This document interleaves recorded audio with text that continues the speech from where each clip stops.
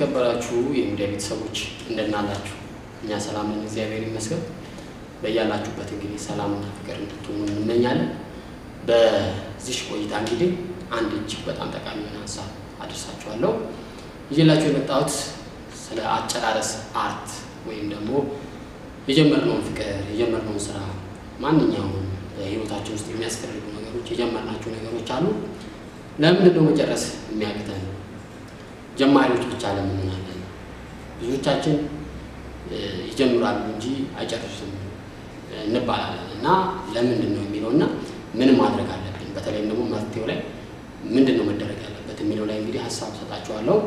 እኔ ስለተናገርኩ ወይም ይህን ሀሳብ ስላደረስኳችሁ በቂ አይደለም። እንደለመዳችሁ ደግሞ የእናንተን ሀሳብ ሙሉበቱና ብዙዎቻችን እንማራለን ብዬ አስባለሁ። እንግዲህ ወደ ሀሳብ መማማር ውስጥ ስንገባ ለምንድን ነው የመጨረስ art የሌለን የሚለውን ነገር ስንመለከት ከሩጫ ጋር ማገናኘት እንችላለን። ብዙ ሯጮች ስኬታማ የሚሆኑት ሩጫውን ስለጀመሩ ሲሆን አጨራረስ ላይ ባላቸው ብልጠት፣ ጉልበት፣ የኃይል አጠቃቀም የአብሯቸው ያለውን ተፎካካሪ የሳይኮሎጂ እና የአቅም ሁኔታ ከመረዳት ጋር የተያያዙ እንደሆነ ይታወቃል እና ፊት ለፊት ስለሮጥን አጨራረሳችን ልክ እንደጀመርን ይሆናል ማለት ሳይሆን አጨራረሳችን መልካም እንዲሆን እንግዲህ art ራሱ የምትሰጠን ነገር እንዳለ እንመለከታለን እና ብዙዎቻችን የጀመርነውን የማንጨርሰው ነገር መጀመሪያ ላይ ያለን ስሜትና ፍላጎት ነገሩን የመጀመር ሁኔታ መሀል ላይ እና መጨረሻ ላይ ካለው ጋር ሳይመጣጠን ሲቀር ነው። በጣም ፈልገን እንጀምራለን። ጀማሪ አማኝ ከመነኩሴ ይበልጣል እንደሚባለው በጣም ለምሳሌ ወደ ሃይማኖት ስንገባ መጀመሪያ ላይ የምናደርገው በሃይማኖት ውስጥ የምናደርገው ነገሮች ሃይማኖት ውስጥ ከቆዩ ሰዎች ሁላ እንደምንበልጥ ይታወቃል። መሀል ላይ ግን የተፍረከረክን እንደምንል ይታወቃል እና ፈተናው ከባዱ ፈተና ያለው መሀል ላይ እና መጨረሻ እንደሆነ ይታወቃል። ስለዚህ consistency ኖሮ መጀመሪያ ላይ የምናደርገው ነገር መሀል ላይ እና መጨረሻ ላይ የምናደርገው ነገር አንድ ባለመሆኑ እንደዚህ አይነት ችግር ያጋጥመናል ማለት ነው። ስለዚህ ችግሩን እንግዲህ ብናወራ በጣም ጥልቅ ነው፣ የመጀመርና የመጨረስ ሁኔታ ማለት ነው። ምንድን ነው ማድረግ ያለብን የሚለው እንግዲህ አጭር ደቂቃ ስለሆነ ያለን በዛች ውስጥ ልንገራቸው። የመጀመሪያው የምትወጂውን ማወቅ ነው ወይም ምርጫሽን ማወቅ ነው።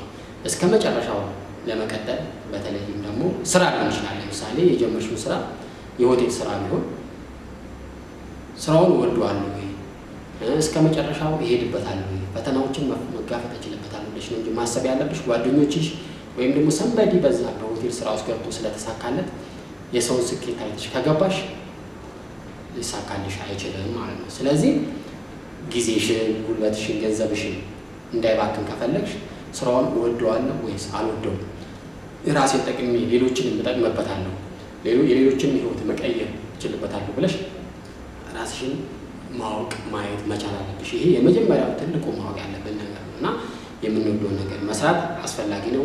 ከምንወደው ሰው ጋር ለመኖር መሞከር በጣም አስፈላጊ ነው። አለበለዚያ ለገንዘብ ብለሽ ለመልኩ ብለሽ ያገባሽ ወንድ ነገ ችግር ሲያጋጥምሽ መለያየት ይመጣል ማለት ነው። ግን የምር የምትወጂው ከሆነ ያን ወንድ የፈለገ ፈተና ቢያጋጥምሽ ነገ በህይወትሽ መወጣት ትችላለሽ። ሁለተኛው በጣም አስፈላጊው ነገር ወጪሽን ማስላት ነው። አንድን ስራ ከመጀመርሽ በፊት ምንድን ነው ወጪው? ከገንዘብ ከጉልበት ከጊዜ አንጻር የሚያስወጣሽን ነገር በደንብ ማስላት መቻል አለብሽ። እስር ሆነሽ አንድን ተራራ ወደ ላይ ስትመለከችው ምናልባት ቅርብ ሊመስልሽ ይችላል።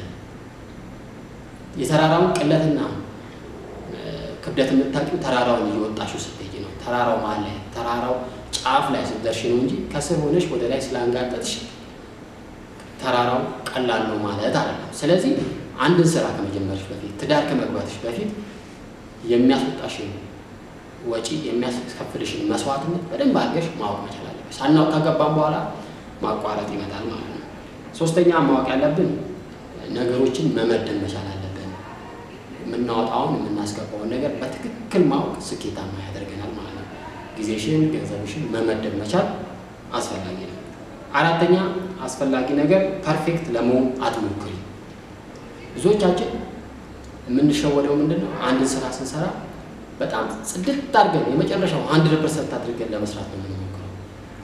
ማንም ሰው በዚህ ዓለም ላይ perfect የለም። ሰው እየሰራ ነው የሚማረው። ስለዚህ በቻለው አቅም እየሄድን እየሰራን እያሻሻልን እየጣርን ነው መሄድ ያለብን እንጂ perfect ነገር expect ካደረግን የበለጠ ውድቀት ሊመጣ ይችላል ማለት ነው። ስለዚህ perfection የማትፈልጊ ከሆነ የመጀመሪያው ነገር እየከፋፈልሽ መስራት ነው። በትንሹ ለምሳሌ ቀደም ብዬ እንደጠቀስኩልሽ የሆቴል ስራ ከጀመርሽ በትልቅ ቢዝነስ የሆቴል ስራ መጀመር ሳይሆን መጀመሪያ የሆቴል አስተናጋጅ፣ የወጥ ቤት ሰሪ፣ cashier እነዚህ እነዚህ ነገሮች ራስሽ ማየት መቻል አለብሽ ስራው ይህን በትንሹ ትጀምሪውና ከተለማመሽ እውቀት ካገኘሽ በኋላ ወደ ትልቅ ስራ መሸጋገር ትችላለሽ።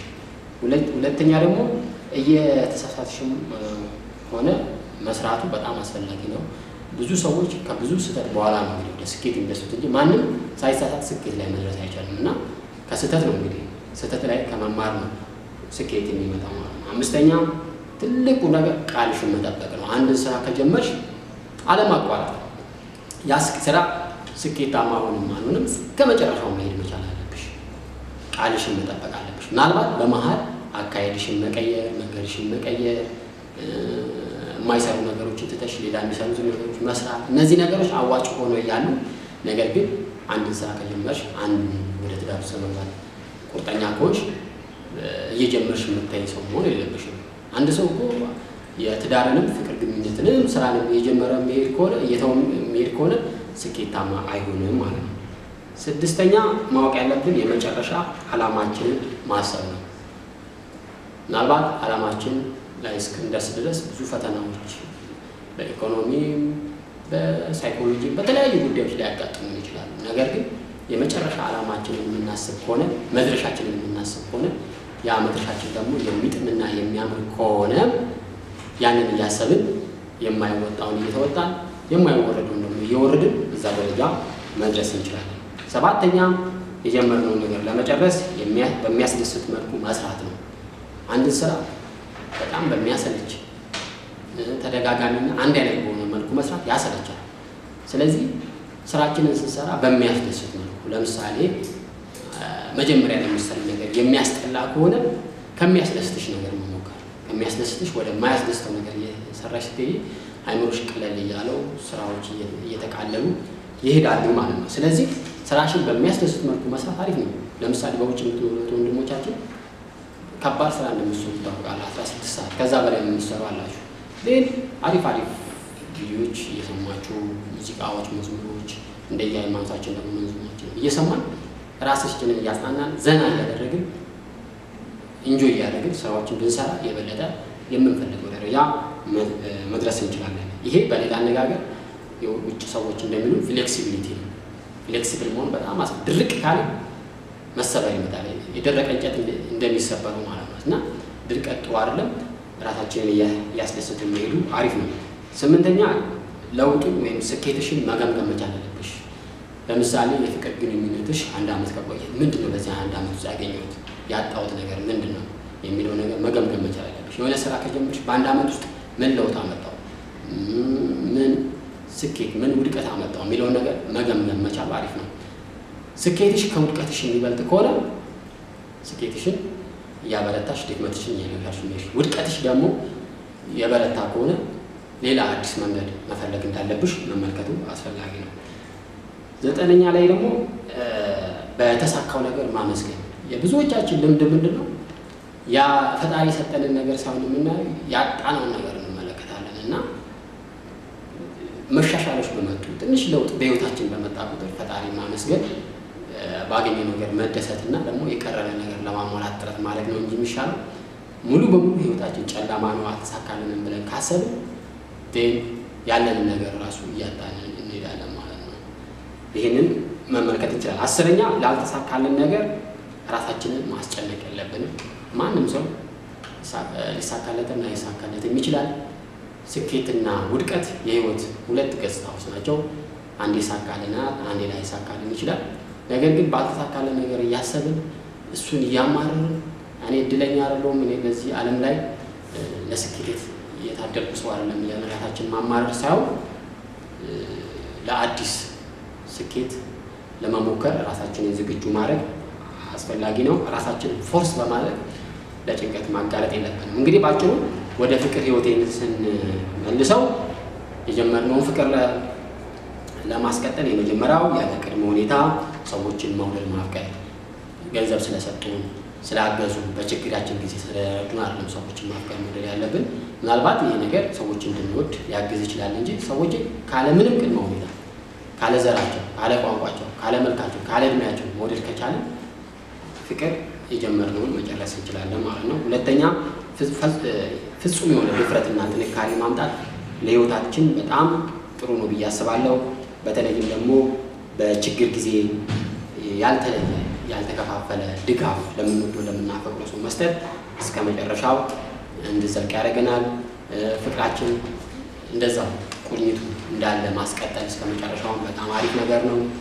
ሶስተኛ ደግሞ እውነትን ማወቅ የብዙዎቻችን ችግር ልባችንና ስሜታችንን እናዳምጣለን እንጂ ጭንቅላታችን የሚነግረን እውነት ግን አንከተልም። የእህቶቻችን ችግር ይሄ ነው።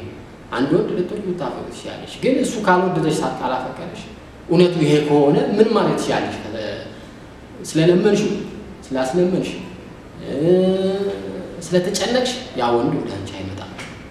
እህቶቼ እዚህ ላይ በጣም ባይዋጥላችሁም ባይመችም በራሳችሁ ላይ መጨከን መቻል አለባችሁ።